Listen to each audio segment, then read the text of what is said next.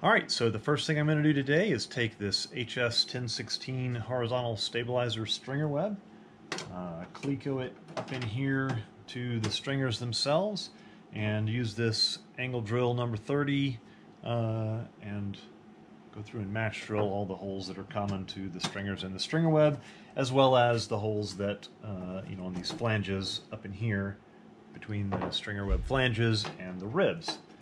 And uh, so what this does, you know, the stringers and stringer web sort of create a, you know, a partial third uh, spar in the horizontal stabilizer. So, uh, you know, add strength to that center section. Uh, the plans don't tell you to deburr this first, but I think at this point we, uh, you know, we can kind of assume it's kind of implied. So I'll uh, peel the blue vinyl off and clean up the edges. They're, they're not too bad anyway, but I'll get going on that. All right, well, so as you can see in a minute here, I start out using the uh, 90 degree drill attachment in my pneumatic drill, but then I end up uh, switching over to just use my cordless electric drill. And I don't know why, but that seemed a little easier. Those a 90 degree drill attachment in a regular drill is just a little clunky to use, I, I think. Maybe I'm just uncoordinated with it, but um, you know, you're having to hold the drill and then you're also having to hold the, the 90 degree attachment so that it doesn't just, you know, spin around. And uh, I'm actually thinking I might just go ahead and buy a dedicated 90 degree pneumatic drill. And, you know, they aren't cheap, but, uh, you know, tools. Um, so anyway, but, uh, you know, this went fine. Like I say, it's just a little clunky using the little 90 degree attachment. All right, so the stringer web is in place and match drilled to the stringers and these inboard ribs and I went ahead and marked it so I'd be able to get it back uh, in place in the right orientation after I take it apart to deburr and prime it. So now it's time to match drill number 40 all the holes uh, in the skin common to the skeleton. So obviously that's a lot of holes and I'll probably take a Sharpie and make little marks on the, uh, on the blue vinyl here as I go along so that I don't miss any. Uh, there's also some holes that are for fairing screws, so I'll want to uh, mask those off so that I don't end up accidentally dimpling them. And there's also some holes that are strictly for the tip fairings and uh, not in common with the skeleton, so I won't need to drill those or do anything with those at this point. All right, well, so suffice it to say, this is a whole lot of time lapse of a whole lot of me drilling a whole lot of holes. Uh, it was about 11 or 12 minutes of time lapse. Uh, I've shrunk it down to just a couple. And, uh, you know, this is a time where having a whole lot of clecos really uh, pays off, whether you need them that, you know, space that closely or not.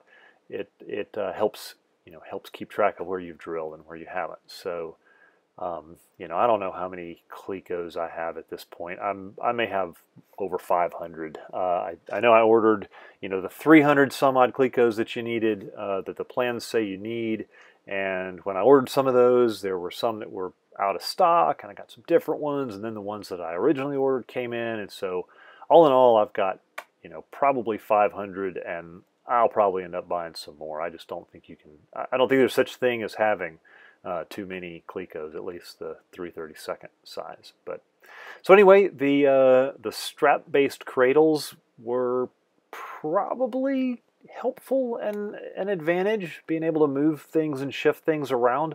They are wider, I think, than if I had made the cradles per the plans and, and made them out of plywood. Uh, either way, they would have obscured some of the holes and I'd have to shift things around.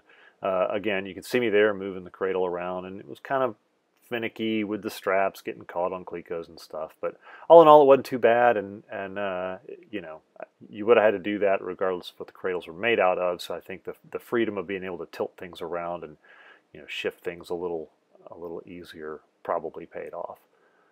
But so yeah, uh, you know, this took uh, I lost track of how many hours this took, but just a whole lot of drilling and moving clecos, and drilling again.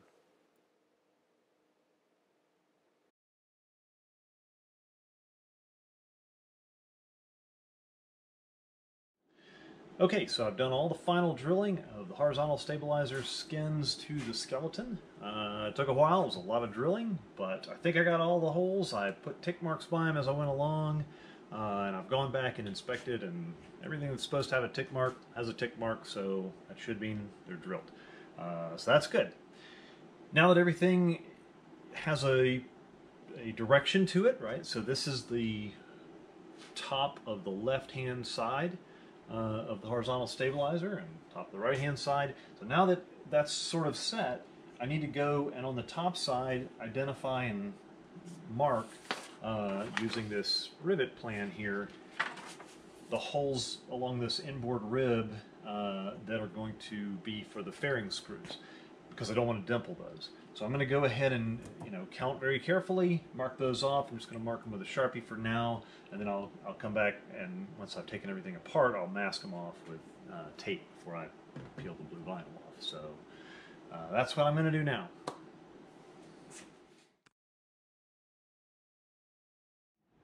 Okay, so everything is match drilled or final drilled as the case may be uh, that I need to do up to this point. So now I get to take everything back apart.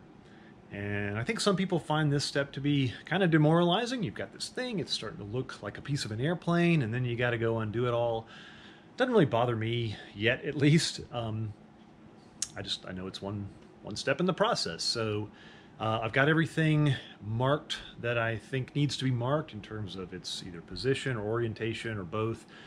I'll double check as I go just to make sure there's nothing ambiguous or any of that. But um, yeah, uh, that's next.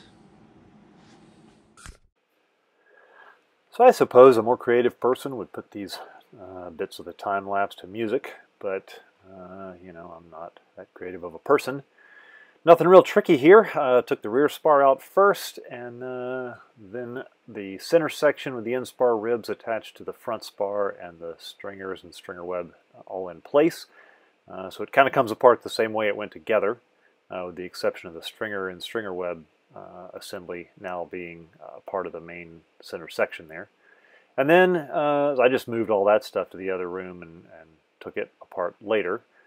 And then, of course, with the nose ribs being the only thing left in there, the skin wants to spread back out because of these cradles. So I just used uh, used tape again uh, to hold the ends of the skin together to not put so much pressure on it when I took the nose ribs out. And uh, like I say, then I just went in the other room and took apart the rest of the skeleton, made sure I had everything marked in there, and uh, that was it.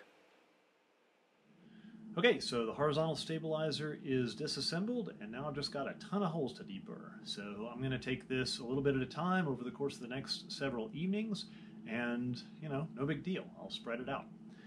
Uh, everything is extremely well marked. I probably went a little overboard with the Sharpie, but when I go to prime these parts, I'll clean them with Scotch-Brite, uh, gray Scotch-Brite dipped in acetone, and that tends to pretty much scrub off uh, the Sharpie marks, and, and it just leaves this kind of a, this ghostly image of, of the mark, and it's uh, it's enough to figure out what the part is, uh, but it won't be you know quite so gross. And uh, of course, most of this is none of this really is going to be visible once the plane is assembled. I did take care to not any marks on the outside of the skins, and uh, you know even these parts that'll be visible until the fairings are on. Again, so what? So I'm going to get going on the deburring. So, if only the deburring could really be done uh, as fast as the time lapse. But anyway, uh, you know, as I said, I would just come down after work on an evening and deburr a little bit, listen to a audio book or something. And, uh, you know, it's fairly mindless. So, you know, as you can tell by the change of wardrobe, uh, this was over the course of several nights. And, uh, you know, like I say, it's fairly mindless. I don't mind doing it. Um, uh, I use a couple of different tools. I'll, I'll, talk about it more in a minute. But uh, I ended up buying a couple little extensions for my hex bit there. I was just using one that I already had. But uh, I use that to be able to reach across, you know, when I'm deburring the underside, the holes on the underside of the rib flanges, and you need to be able to reach across the other flange. Uh, and I suppose one way you could do it would be to take you know the little deburring bit itself in your fingers and hold it square up under there. But boy, would that that would take forever. I've never uh, heard of anyone doing it that way. So you know what I do is put some kind of an extension on whatever tool I'm using, and then just you know reach across. And so, you know, the weather was nice, so I took it outside to deburr the holes in all the stringers, and as you can see, I'm using my uh, hex deburring bit in the um, in the little cordless screwdriver. Uh, kind of alternating tools there. You know, you don't want to put a lot of pressure if you're using the cordless screwdriver, especially. You don't want to bear down on anything, but uh, you know, I can just uh, use the weight of the tool really, and um, you know, just a very light pressure. And so, obviously deburring all the holes up under the flange of the spar. Alright, so now I'm deburring all the holes in the horizontal stabilizer skins. Lots of holes, so I better get started. I'm going to use my little hex bit here. Um, probably just twisted in my fingers for a lot of this. Also have, whoops, the uh, my little cordless screwdriver that I can put it in. Uh, this thing, especially on the skins, I want to go really carefully because, of course, you don't want to. You're not trying to countersink the holes or anything like that. It's just deburring, and again, especially on the, the thin skins, you really don't want to take off too much. And uh, I did. I bought these little couple little hex bit extensions that you know, I can just use to twist in my fingers. I actually bought them to, to get the inside of the uh, rib flange uh, holes and you know to be able to reach across and, and uh, twist them like that.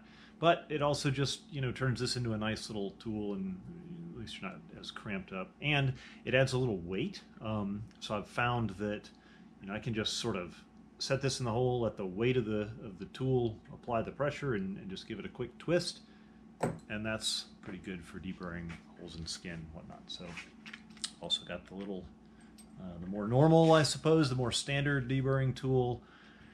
I don't know that any one of these does any better job than the other, really. Uh, you know, from a practical standpoint, I just I get tired of twisting this thing, and so I'll use this thing for a while, or I'll put it in the screwdriver and just go very carefully.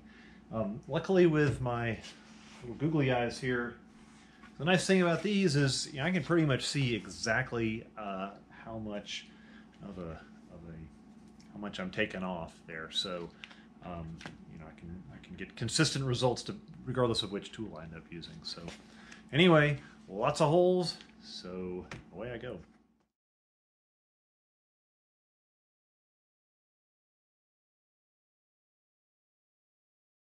Alright, so I've deburred all the holes on all the inside surfaces of the horizontal stabilizer skins. Now I've got to peel the blue stuff off and do all the outside surfaces. So uh, if anybody's curious, it was 244 holes, assuming I counted right. Uh, but I counted them when I did this, this last panel. And uh, I also timed it, so it took me a little over, um, a little under 15 minutes to you know, do all the holes and come back with the Scotch-Brite and, and sort of you know feel it and inspect it. And uh, so, you know, there's basically eight, you know, eight times that because it's each each panel or each side, inside and outside, and then two skins. So there's that? A little under a thousand holes and a couple of hours worth of work uh, by the time all is said and done. So not too bad, really. Um, you know, it's just sort of tedious and repetitive and whatever. Uh, so, on to the outsides.